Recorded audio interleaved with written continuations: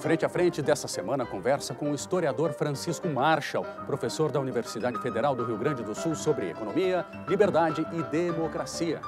Nós temos um colapso de democracia, porque a opinião pública é tratada como lixo. Mas quem decidiu foi a Assembleia. Bom, mas a democracia não se restringe a isso. Então não é que a Assembleia seja legítima, não disse isso, não disse isso, não penso isso. Mas acho que usá-la unicamente como caminho de imposição de medidas, de decisões que transformam fortemente a sociedade, no caso a sociedade rio-grandense, é temerário e autoritário.